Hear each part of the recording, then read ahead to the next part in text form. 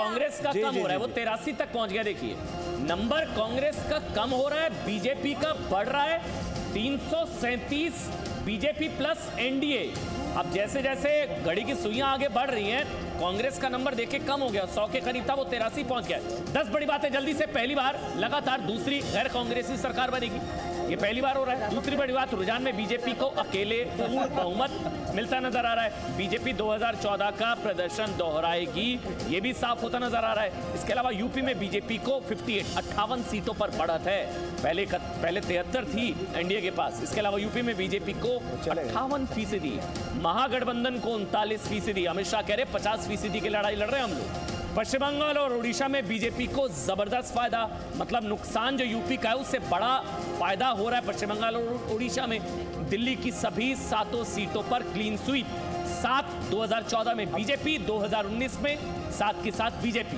कांग्रेस को राजस्थान और मध्य प्रदेश में बड़ा झटका, यानी कि जो 2014 में, वही 2019 में, और कांग्रेस के सहयोगियों में सिर्फ़ और सिर्फ़ डीएमके का जो प्रदर्शन है, वो बेहतर है, जो तेरासी आप देख रहे हैं, उसमें से 20 22 डीएमके है। सिर्फ़ पंजाब में कांग्रेस का प्रदर्शन है। पंजाब में कांग्रेस की सरकार है, कैप्टन अमरिंदर सिंह वहाँ पर मुख्यमंत्री हैं। और सिर्फ़ पंजाब में कांग्रेस का प्रदर्शन जो है, वो बेहतर नज़र आ रहा है। मतलब 2014 के नतीजे 2019 के नतीजे, बड़ी बात, दो बड़ी बातें। पहली बड़ी बात ये कि हिंदी बेल्ट में बीजेपी की कोई टक्कर नहीं है। हिंदी बेल्ट में तमाम सीटें जो 2014 में जीती थी वही बीजेपी जीतती नज़र आ रही है। और भरपाई जो थोड़े बहुत नुकसान हुआ यूपी में सुधीर जी जी। उसकी भरपाई पश्चिम बंगाल ओडिशा से जी और अब आपको हम ये बता दें हमारे सारे करोड़ों दर्शक चाहे भारत में हो चाहे दुनिया के किसी भी और देश में आप हमें देख रहे हैं बीजेपी ने 2014 के मुकाबले इस बार बेहतर प्रदर्शन किया है। यानी 2014 से भी ज़्यादा सीटें बीजेपी इस बार जीत रही है।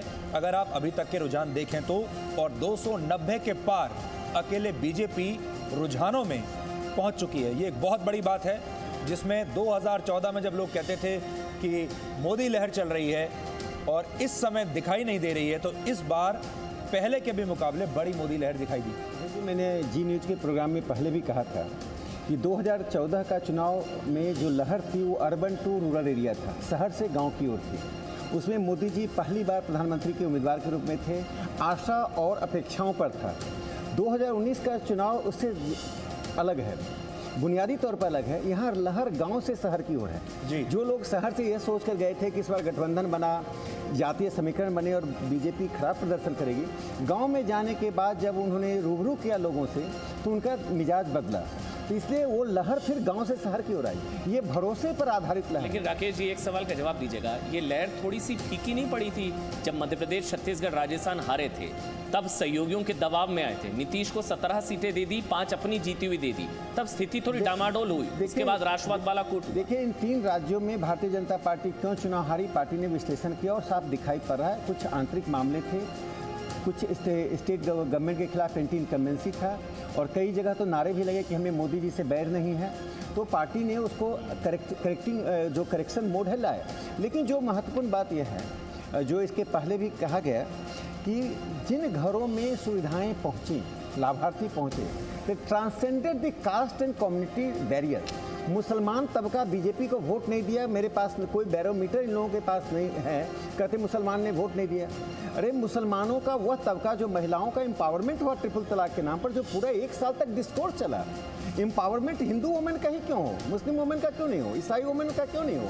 ये सवाल एक डेमोक्रेटाइजेशन ऑफ़ इंडियन सोसाइटी जिस तरह से हो रहा है ये रियलाइज़ नहीं कर रहे हैं। इनको लग रहा है कि मठों से पीठों से मस्जिदों से बैठकर हम राजनीति को चला सकते हैं ऐसा नहीं है।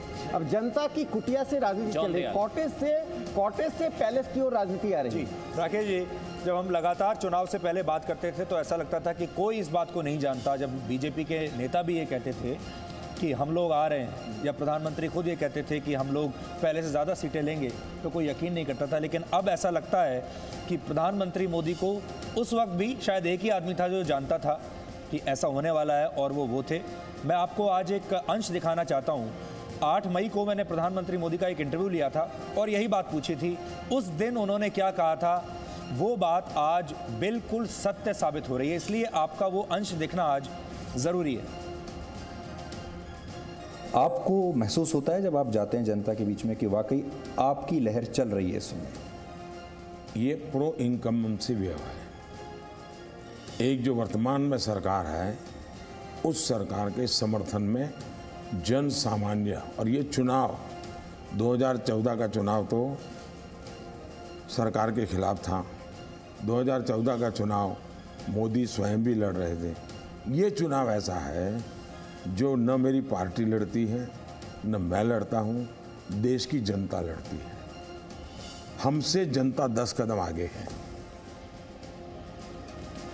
तो ये प्रधानमंत्री मोदी का आकलन था 8 मई को कि ये चुनाव जनता लड़ रही है और आज जो नतीजे आप देख रहे हैं, जो रुझान आप देख रहे हैं, बीजेपी बढ़ते बढ़ते तीन सौ सैंतीस बीजेपी प्लस पहुँच गई है। कांग्रेस अब घट रही है। कांग्रेस प्लस अब तिरासी पर जाकर जम गई है। अदर्स 122 पर हैं। अब ऐसा लगता है कि प्रधानमंत्री मोदी को ये आभास था। वो जानते थे कि वो क्या कर रहे हैं।